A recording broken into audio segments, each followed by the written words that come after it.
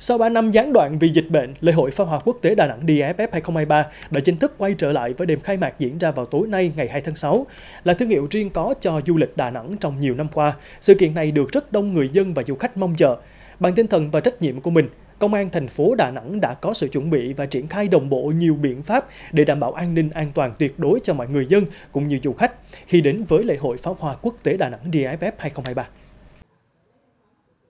Lễ hội pháo hoa quốc tế Đà Nẵng 2023 có 8 đội thi sẽ trình diễn trong 5 đêm. Công tác đảm bảo an ninh trật tự cho sự kiện trọng đại này được Công an thành phố Đà Nẵng lên kế hoạch từ rất sớm. Tại khu vực sân khấu và các khán đài, công tác khảo sát và dự báo những tình huống phức tạp về an ninh trật tự, phòng cháy chữa cháy và cứu nạn cứu hộ được giám đốc công an thành phố chỉ đạo cho các lực lượng chuyên trách tham mưu đưa ra những giải pháp phù hợp hiệu quả. Giám đốc công an thành phố đã có kế hoạch tổng thể là quy động 100% cán bộ chiến sĩ của toàn lực lượng công an thành phố đã phân công nhiệm vụ cho từng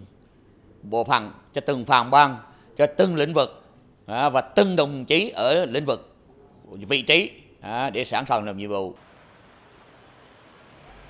Mặc dù có nhiều kinh nghiệm trong các kỳ lễ hội pháo hoa trước đó, nhưng lực lượng cảnh sát giao thông toàn công an thành phố vẫn không chủ quan. 100% cán bộ chiến sĩ được huy động ra hiện trường vẫn trực sẵn sàng phối hợp tác chiến, Công tác hướng dẫn phân làng, phân luồng cho các phương tiện của người dân và du khách được thông báo rộng rãi. Phương án đón dẫn các đoàn lãnh đạo, đại biểu đến dự lễ khai mạc được Phòng Cảnh sát Giao thông phối hợp chặt chẽ với Trung tâm Thông tin Chỉ huy cùng công an các địa phương, đồng thời bố trí lực lượng chốt chặn tại các khu vực dễ xảy ra ủng ứ cục bộ.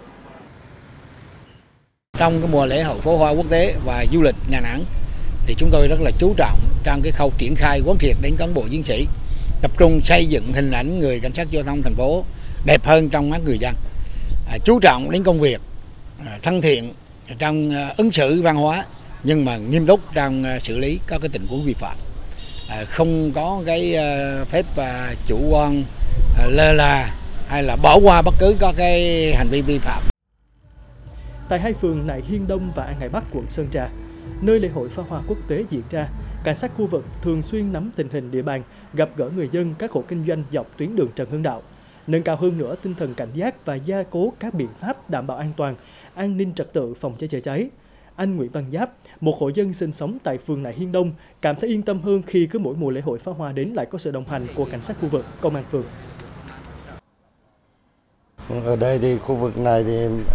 tôi tổ chức là 5 năm rồi. Và mỗi là mỗi năm tổ chức thì ờ, có công an phường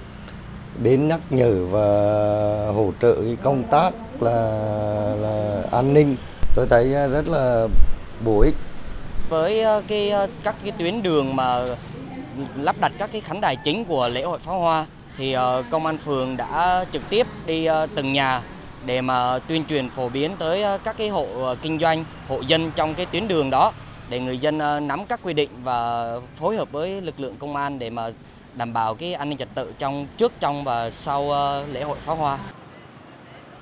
Trong hai ngày 30 tháng 5 và 1 tháng 6, toàn công an thành phố Đà Nẵng đã tổ chức tổng diễn tập công tác đảm bảo an ninh trật tự, trật tự an toàn giao thông, phòng cháy chữa cháy và cứu nạn cứu hộ DIFF 2023. Qua đây, mỗi đơn vị địa phương sẽ tự rút ra những kinh nghiệm và vướng mắc cần tháo gỡ, đồng thời đưa ra những giải pháp phù hợp với tình hình, đặc điểm của từng địa bàn, phòng ngừa và kịp thời ngăn chặn tội phạm liên quan đến trộm cắp, móc túi, ma túy hay những tệ nạn xã hội khác có thể xảy ra giám đốc công an thành phố đã tổ chức trên kế hoạch và quy động rất nhiều cuộc họp à, và chỉ đạo từng cán bộ chiến sĩ phải có nêu cao tinh thần trách nhiệm và lĩnh vực công tác và ở từng vị trí à, phải phát huy được cái năng lực sở trường và